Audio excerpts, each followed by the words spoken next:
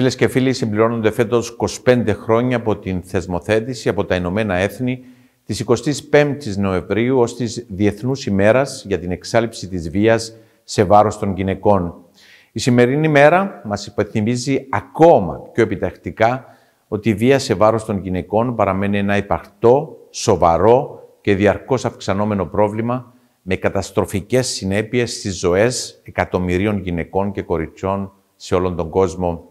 Η έμφυλη βία συνιστά κατάφορη παραβίαση θεμελιωδών ανθρωπίνων δικαιωμάτων και θίγει την αξιοπρέπεια και την αυτονομία των γυναικών και των κοριτσιών.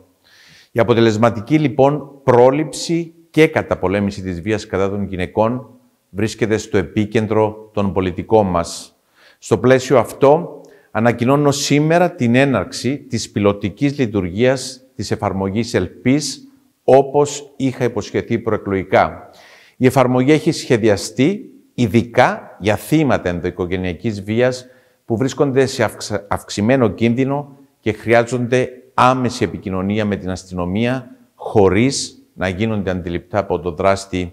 Η ΕΛΠΙΣ αποτελεί μια ακόμη πρωτοβουλία στην προσπάθειά μας για πρόληψη και αντιμετώπιση της βίας και αναμένεται να δεθεί σε πλήρη λειτουργία εντός του πρώτου εξαμήνου του 2025.